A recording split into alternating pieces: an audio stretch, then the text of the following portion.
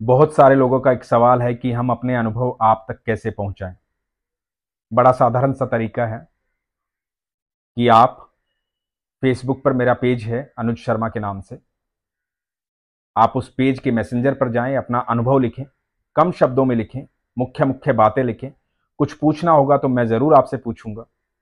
उसके संबंधित फोटोग्राफ जो हैं, जो भी उस प्रसंग से संबंधित हैं, वो आप मुझे साथ में भेजें। ताकि आपका अनुभव सुनाया जा सके। इस पेज का एक ही मकसद है, आपका विश्वास प्रगाढ़ हो, विश्वास मज़बूत हो। कई लोग लिखते हैं कि, सर, आप जब अनुभव सुनाते हैं तो कुछ पैसे लेते हैं, या आपका पेज ज्वाइन करने के लिए कुछ पैसे लगते हैं, या लाइव आने के लिए आपके साथ कुछ पैसे लगते हैं। तो मैं आप सबको बता दूँ, ये निशुल्क है।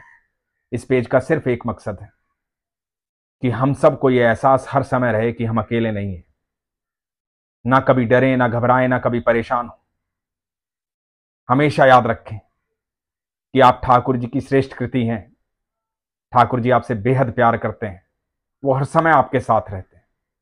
हम सबके साथ रहते हैं। इसलिए कभी डरना नहीं है, घबराना नहीं है। एक सकारात्मक ऊर्जा का प्रवाह जो है, वो इतना तीव्र होना चाहिए कि कोई भी जीव कहीं भी परेशानी में ना रहे। और ये हम सब का फ़र्ज़ बनता है।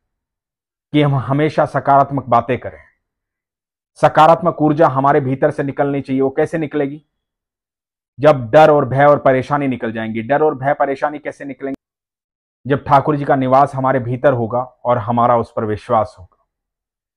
तो अपने विश्वास को मज़बूत रखिए, अपना ख्याल रखिए। हरे कृष्ण।